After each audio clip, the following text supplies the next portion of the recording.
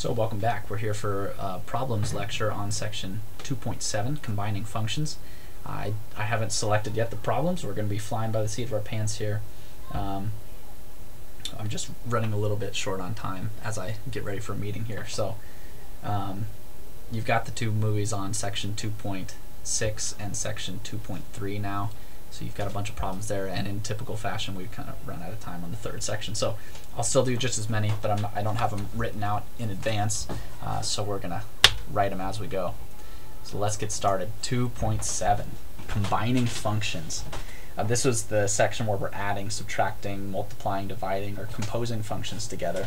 So let's go ahead and, and find something like this. So question 17 says, find the domain of the function, and here it is, f of x equals square root of x plus 3 minus x. So in problems like this, you know, you, you, need to look at what we're dealing with. Here's one function, g of x, square root of x. Here's another function, h of x. It's a different function altogether. And they don't have the same domain. This one has the domain of every non-negative number. Plug in anything you want that's positive or zero. This one on the right, though, is a little bit different. We have to plug in any number less than or equal to x.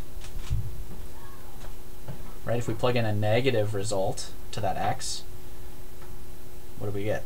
We get a 3 plus something. So it's okay to plug in negatives now. The positives are the issues. It turns out we can plug in things up to 3, nothing bigger.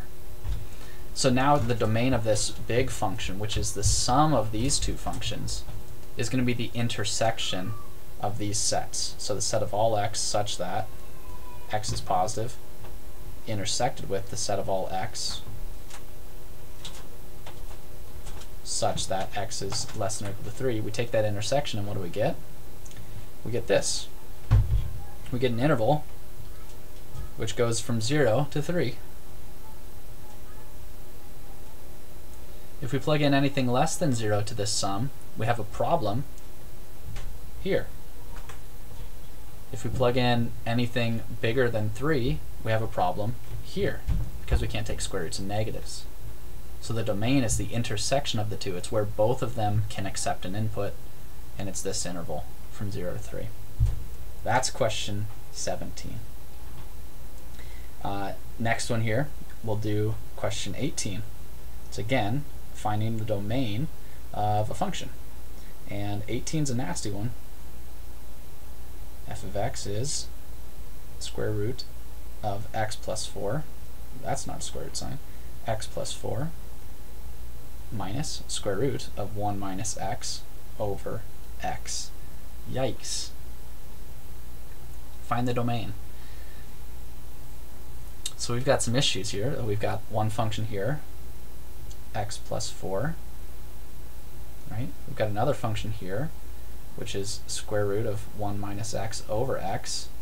We need to find each function's domain, and then take the intersection again, because we've got a, we've got a subtraction here of these two functions.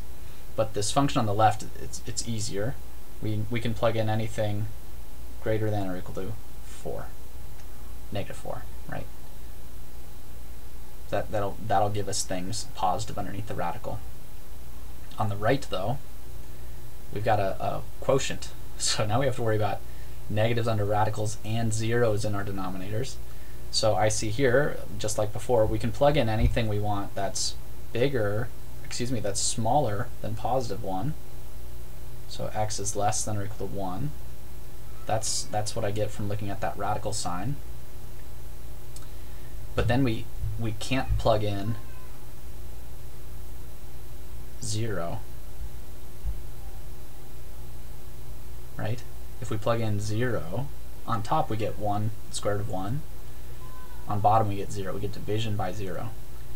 So we've got these two sets.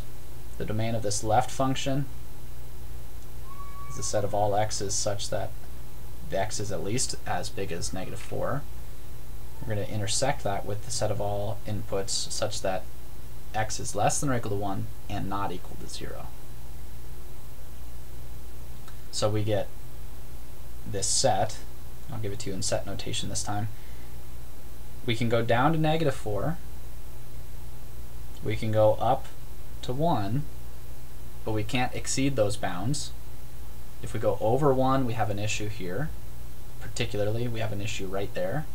If we go less than negative 4, we have an issue here. And we'll get negatives underneath those radicals. But then we also need to remember that we can't have 0. So this one is uh, the first interesting thing graphically. Negative 4, solid, 1, solid line. We can highlight everything in between these, but we need to have an open hole at 0. Right, so I, I highlighted everything, but maybe I'll go back and change that that's what this graph actually looks like. The domain of this graph, this function looks like that. There's a, it's an interval with a hole in it. And that's because we're, we're dividing by x there.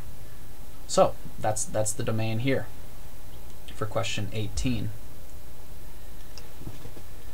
Um, so how about something like this question? Um,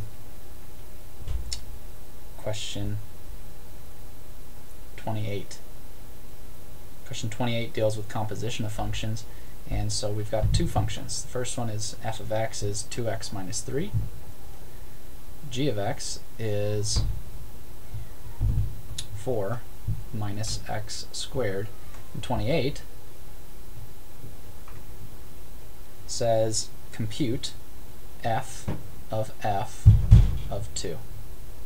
Another way of writing that is like we saw, f circle f, which means f of f of 2. Okay, so how do we do this? Well, first we need to figure out what f of 2 is, and then we're going to plug that back in to the function f. So f of 2 is 2 times 2 minus 3, which is 4 minus 3, which is 1. And then we're going to take that we're going to plug it in. Right, so f of f of 2. We're going to put that right here, but what is that numerically? It's just 1. So f of 2 is 1. So f of f of 2 is really f of 1. You see that? Right, this, this 1 is replacing that f of 2. We've taken the output of our first function, we're using it as the input of our next function, which just so happens to be the exact same function. So what's f of 1? It's 2 times 1 minus 3. It's 2 minus 3. It's negative 1. That's f of f of 2, when our function f is 2x minus 3. what is g of g of 3? That's part B. we could again rewrite this using the composition notation g little circle g of 3. So g is 4 minus x squared. 4 minus x squared. We just got to remember that. 4 minus x squared. So this, we just need to first figure out what is g of 3? What is this internal part? So we get 4 minus 3 squared. It's 4 minus 9, so that's negative 5 this is our input for the next one. So g of g of 3 is really just g of negative 5. So we get 4 minus negative 5 squared, which is 4 minus 25, positive 25, right? So 4 minus positive 25, which gives us negative 21. That is g of g of 3. 31, same functions, is asking what is f of g of any input. Any input. f of g of x. Another way to write that is f of g of x. So you're plugging in the whole function g into the function of x. So we'll go back up and refresh our memory. What is f and what is g? 2x minus 3. So I'll put these over here on the right side so we can remember those. Okay, so we're going to take the function of g, we're going to plug it into f. So f is 2 x minus 3, but instead of x, we have to plug in the whole thing, g of x. We have to plug that whole thing in there. We're replacing the variable with another function, and then we're going to expand that out. This is 2 times, what, 4 minus x squared minus 3. So now we'll, we'll distribute.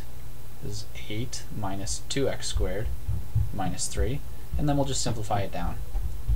This is 8, excuse me, this is 5 minus 2 x squared. And that is f of g of x. Done. Okay.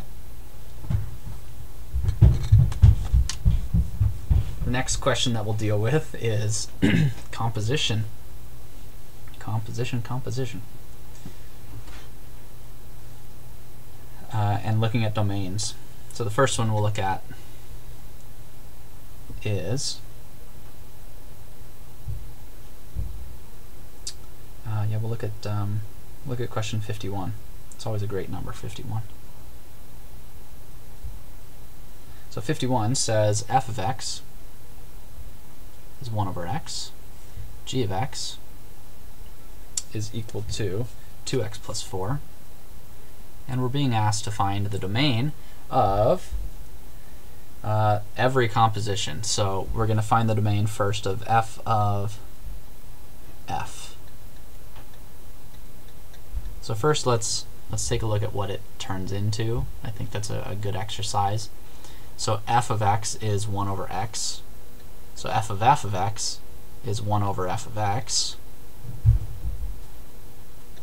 which is 1 over 1 over x if we do our fancy multiplication stuff, multiply by the reciprocal, of the denominator on top and bottom, then we get this is just equal to x. Okay, now, if I asked you what the domain of this function was, you'd probably say it's all reals. You can, you can just, if I ask you for a random number, x, say give me a real number, you can, you're allowed to give me any real number you want. Most, most people will pick an integer, or they'll pick something close to zero, relatively small. Um, but you're still allowed to pick any real number. But that's actually not the domain of this function. Remember there's an exchange here. We take the function f, we plug something into it. We hand that off, whatever that output is, we hand that off to the next thing in line, which is the same function. Right? So whatever you are plugging in here, you need to be able to compute here, and you need to be able to compute the output of that here. So the first function plays a crucial role in these compositions. The first function needs to be able to handle whatever input you throw at it. And that original function has a hole in its domain. x can't equal 0.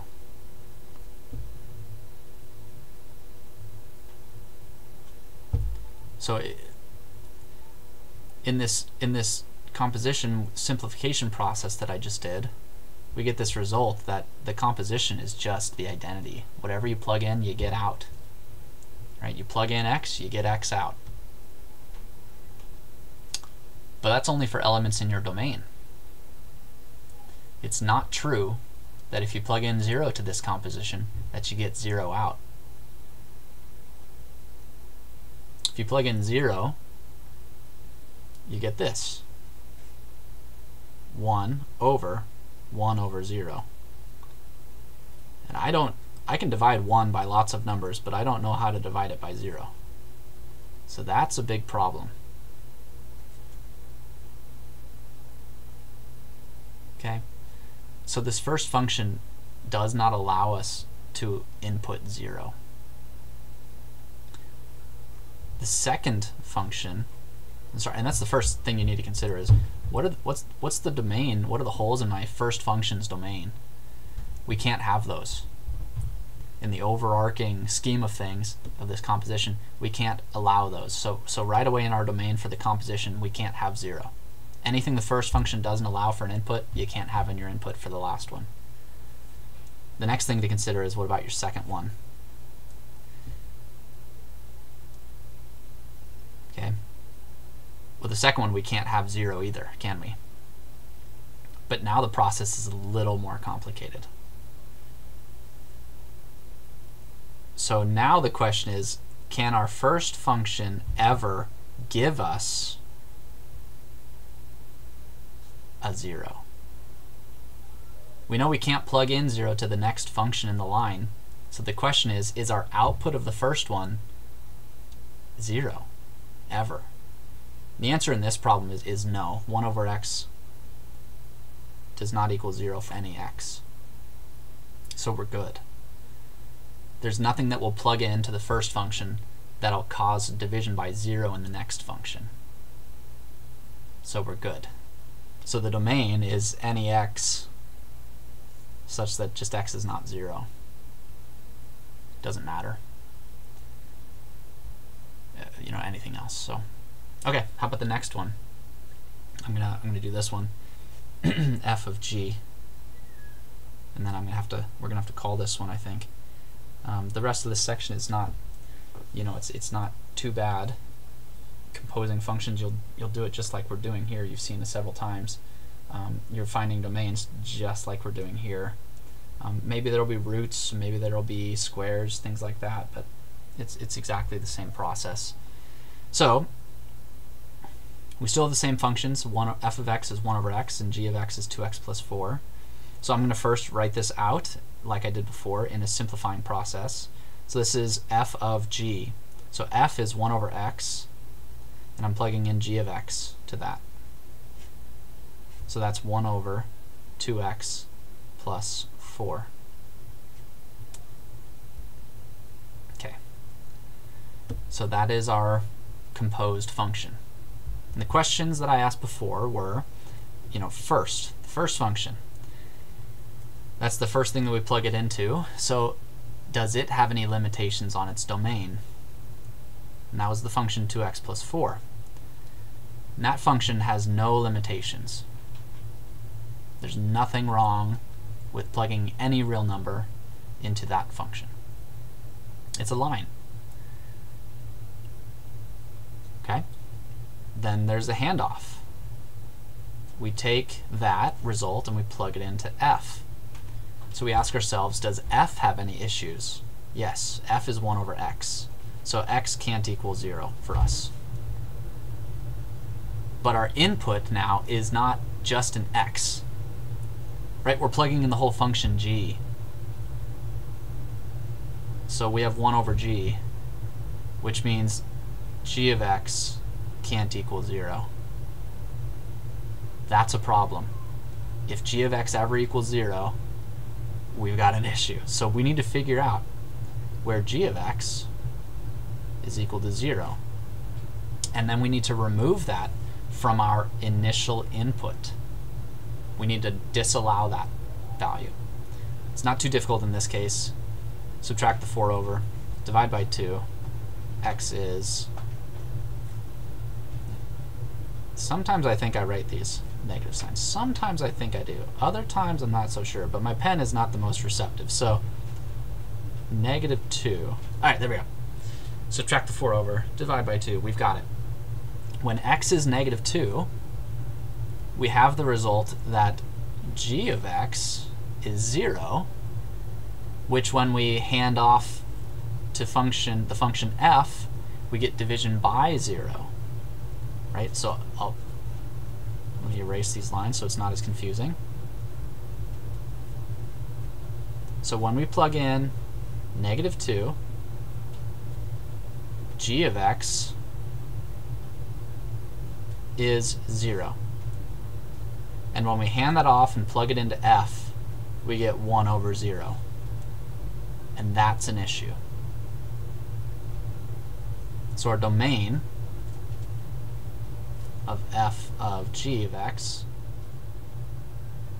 is all real numbers x such that x is not equal to negative 2. That's it. We just need to worry about that one. Okay, so in, in other problems, you know, you're, you're asked for finding the domains of things like this, um, uh, uh, f of x equal to x minus 1, g of x equal to square root of x. You know, you compose them together, f of g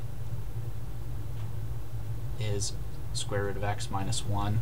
So you're doing this exact same thing. You're wondering, you know, can I plug anything into g or not everything into g? You know, well, it must be 0 or greater. And then, and then my output, can my next function accept anything? Are there holes in its domain? If there are, I need to make sure that my first function doesn't give me those things. You're looking at the range of the first function and, and determining what inputs give you things in your range which are not allowed in the domain of the next one. So you just need to work your way down the list and look at final result. So that's it. Um, if you want